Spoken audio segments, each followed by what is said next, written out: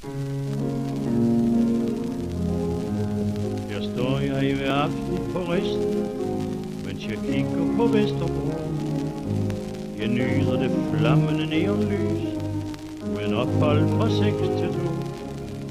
Jeg har det omtrent som de rige, jeg er hver nat på restaurant.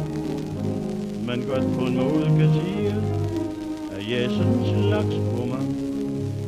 Jeg har med de ædre deler i brøvl som en anden krusæt. Min mave kan tåle det hele, og lidt til og mavet med. Jeg napper fasanen i flugt, efter bøffen, min yndlingsret. Jeg får aldrig andet end luft, men af den kan man godt blive med. Mens de derinde, det svælger bourgognerprodukt, bliver jeg beruset af luften på Vesterbro. Jeg skal ikke stille i smoking, så jeg kan være lige glad. Aldrig ballade med tjenerne, hver gang jeg har bestilt lidt mad. For mig er der ingen, der bruger. Drikke pengene sparer jeg. Og også derinde de lukker, ja, så rager det ikke mig. Jeg har ingen små kontroverser om elsker, for jeg vil have fred.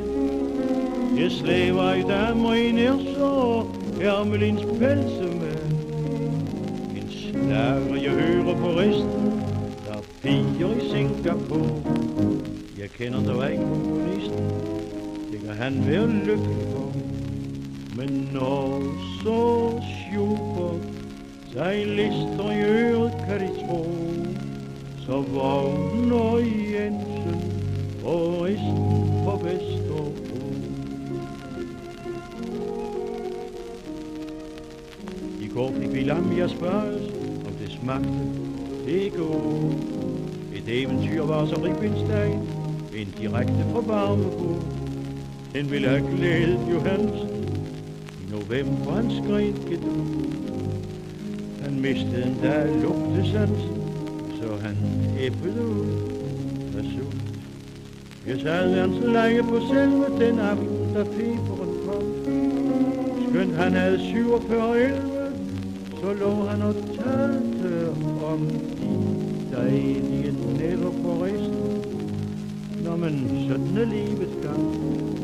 En skøn dag så udøver fristen, og man synger sin sidste sang. Nu kan jeg videre om resten ved himmeriges bro kan være